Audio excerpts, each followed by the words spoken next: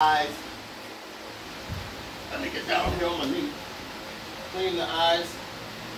Clean in here. Clean the nose. All up in there. Because if you don't, bacteria collects. Mm-hmm. Then they start scratching. Okay? Mm-hmm. You don't want them to start scratching because if her nails are long, she's going to start making slits in the slit and uh, they're going to start bleeding. Then you got an extra problem with those spots.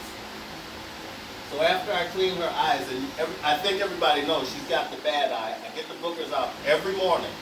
All right? That's step one. Now, after we get the bookers out,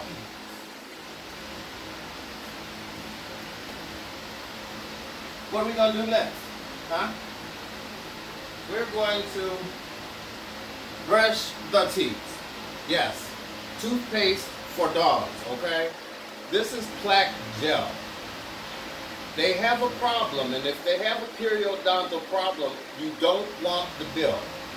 Most of you already know I have the bill from her ingesting part of a chew toy that was about that big. So now, in between what you see me do in these videos, now you're looking at the behind the scenes, about $10. Uh-huh, yeah.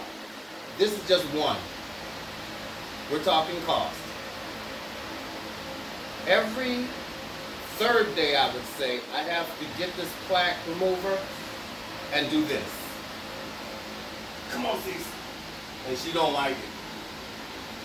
You take the end of the bottle, you open it up, and you apply it to each tooth.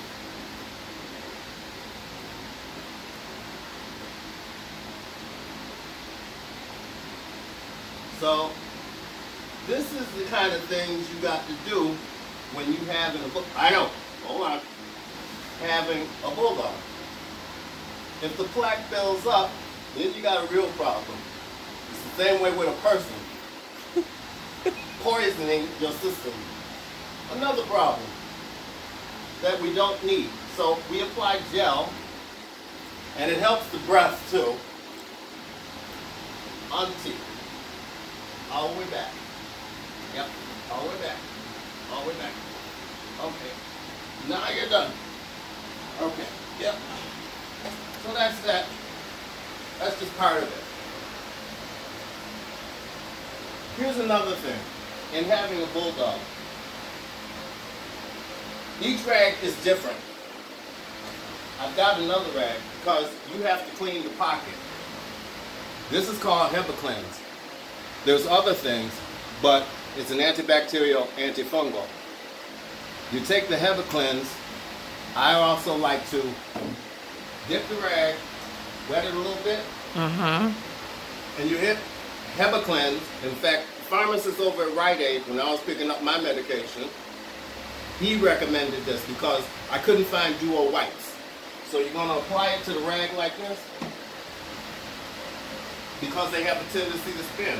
Okay, you see them spinning on the floor, that's because their putt is itching. They can't get to their putt, so they spin. Get tired of looking at the spinning because it's aggravating when you're trying to watch a movie. So here's what you do. You take it and you go inside that curly tail. And believe me, it gets really sweaty and really stinky. And if Cece jumps on the bed, I don't want it in my face. So in order to do that, you clean the pocket just like that. It doesn't itch. And she doesn't spin and aggravate me to hell. Now, there's another thing I'd like to say. All this is out of pocket cost. And I don't have health care, so my medication is out of pocket cost. When I moved here, I had a certain amount in my savings account. I have no savings, absolutely none left. So it's all gone now. Taking care of her, that's why you see me doing the things that I'm doing.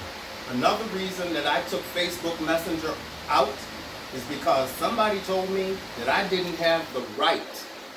They actually said that I didn't have the right to be mad at my situation. Oh, oh God. It's all right. It's all right, Amy. They told me that I didn't have the right to be mad at my situation. Anybody tells you that they you don't have the right to feel the way that you feel, get the hell away from them because they're negative and you don't need them in your life. Okay? Other than that, we're doing well. Erie Harbor is what it is, as I told you. Yes, when we moved out of there, I knew it was going to be a little bit more expensive because we pay electric. But you know what?